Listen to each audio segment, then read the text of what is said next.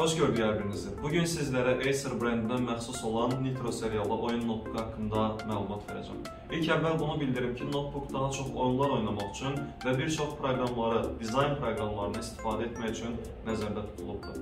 Təbii ki, əlavə olaraq da orta və yüksək parametrlər tələb edən bir çox proqramları rahat bir şəkildə bu notebookla istifadə etmək də mümkündür. Əgər hazırsınızsa, gəlin qutu açılımına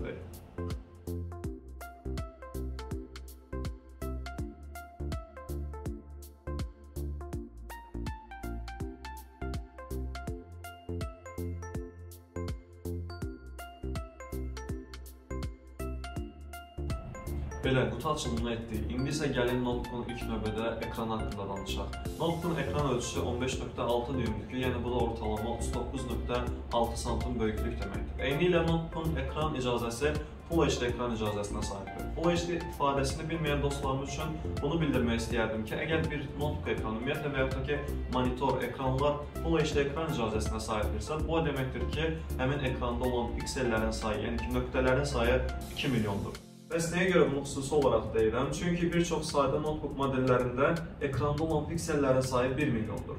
Yəni həmin notebooklardan 2 dəfə daha çox görüntü imkanını əldə edə bilərik bu notebooklarla və yaxud da ki, digər Full HD ekran icazəli notebooklarla.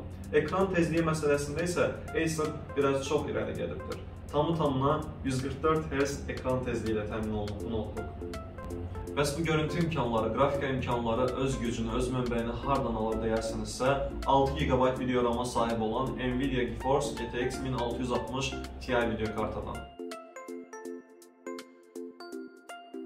Notebook performans tərəfinə baxaq, deyərdim ki, bir çoxlarımız üçün vacib olan məsələ. Bu model 6 nüvəli Core i7 10-cu nəsil prosesorla təchiz olunubdur. Normalda işləmə tezliyi 2.60 GHz olsa da, Turbo Boost rejimi ilə həmin sürət 5 GHz-ə qədər yüksələ bilir. RAM göstəricisi isə 16 GB-dır. Bu da bizə prosesorla birlikdə bir çox çətin qrafik imkanlara sahib olan oyunları oynama və ya qrafik proqramları işləyə bilmə imkanı yaradır. Bu arada nə zamansa RAM-ı artırmaq kimi bir istəyiniz olarsa, artırıla biləcək RAM imkanı 32 GB-a qədərdir. İstifadə olunacaq RAM-lar isə hər ikisi 16 GB olmaq şərti ilə. Notebookun daxili yaddaş göstəricisi isə 512 GB SSD-dir. Bu həm kəmiyyətin yüksək olması baxımından, həm surət, həm də ki keyfiyyət baxımından çox əla bir göstəricidir.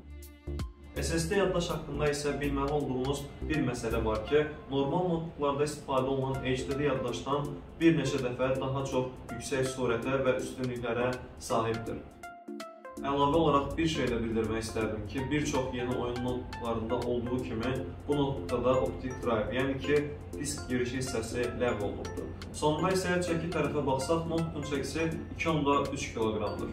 Belə dostlar, bugünkü videomuzda Acer brendindən məxsus olan notebooklardan biri haqqında danışdıq. Əgər sizin də suallarınız varsa, yaza bilərsiniz və əlimizdən gələn qədərilə hər birini cavablandırmağa çalışacağıq. Özünüzə də yaxşı baxın. Növbəti videolarda görüşənə dək hələlik.